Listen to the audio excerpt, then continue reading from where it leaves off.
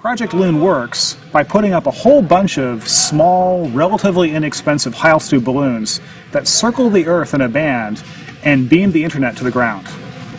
Today in New Zealand, we're announcing some really exciting early tests of Project Loon, where we're using our high altitude balloons to bring the internet to people on the ground right here in New Zealand.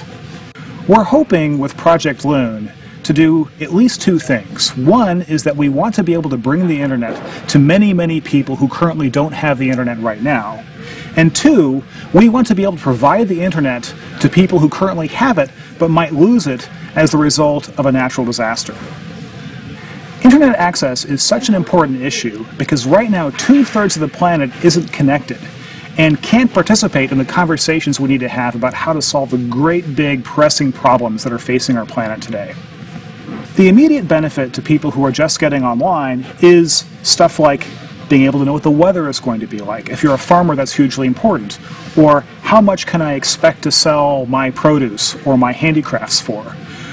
It will also bring benefits like improved education, improved health care, and ultimately bringing people into this great big global conversation about how to solve our really pressing problems. There are a whole bunch of things that come together to make Project Loon possible now. But the most important is a conceptual leap. We had to decide it would be easier to have lots and lots of small balloons drifting with the winds than maybe one great big stratospheric dirigible fighting the winds. And the upshot is it's easier for us to give the internet to everyone than just a few people. For Project Loon to work, first of all, we had to think about things in an entirely new way. And then we had to make big advances in the state of ballooning technology. And then we had to make big advances in our ability to plan for a fleet of lots and lots of balloons. And by bringing all of these things together, we hope to make Project Loon a reality for many, many people soon. Many people today think that the internet is sort of a solved problem. We have DSL, we have LTE, we have all these technologies that a lot of us in the rich world take for granted.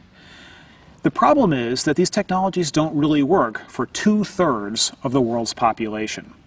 Saying that I can take a satellite phone to remote places in sub-Saharan Africa and get an internet connection doesn't really work for people who are living on a dollar a day or less.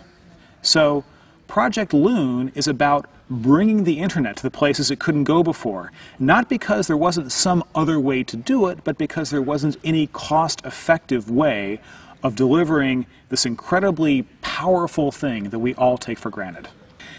There are lots of challenges that make it very hard to deliver the internet in many parts of the world.